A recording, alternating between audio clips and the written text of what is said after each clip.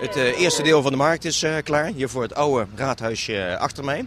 Dus de aansluiting met de kleine markt hier naast mij.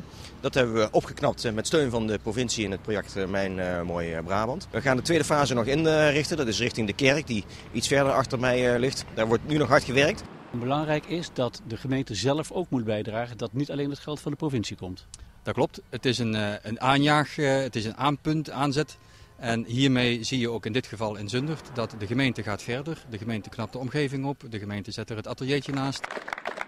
Had u dit nou niet kunnen doen zonder de steun van de provincie? Nee, dat hadden we niet uh, kunnen doen. Er waren wel plannen uh, om een stuk van de markt aan te uh, gaan pakken. De provincie heeft dat in een stroomversnelling gebracht, vliegwieleffect tot stand gebracht. Wat is het belang van Mijn Mooi Brabant? Het belang daarvan is dat uh, een aantal lelijke plekken of slecht onderhouden of vervallen plekken in Brabant, kunnen gebouwen zijn, kunnen andere dingen zijn, dat ze echt snel goed opgeknapt worden. Juist doordat die mogelijkheid er was om mee te doen met uh, Mijn Mooi Brabant, ja, het was voor ons een uitgelezen kans om het heel snel gerealiseerd te kunnen krijgen.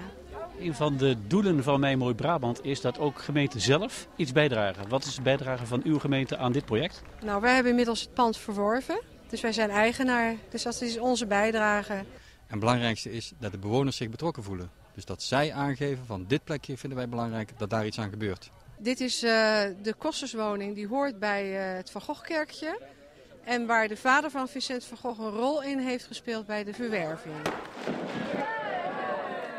Nou, ik zie het als cultureel erfgoed, maar het past in het hele concept wat wij uh, inmiddels ontwikkeld hebben rondom Vincent van Gogh. Een museum, de kerk en daarbij dan ook die kosterswoning die nu een rol krijgt, uh, een functie als atelier en uh, gastenverblijf voor beeldend kunstenaars. Het plein wordt autovrij, er komt een fontein op, er komen nog een aantal mooie bomen verspreid over het plein, zodat het ook weer het traditionele ontmoetingscentrum wordt, het hart van Valkenswaard. Weer een stukje in een mooie legpuzzel die Van Gogh heet. Ja, zeker. Daar zijn we trots op.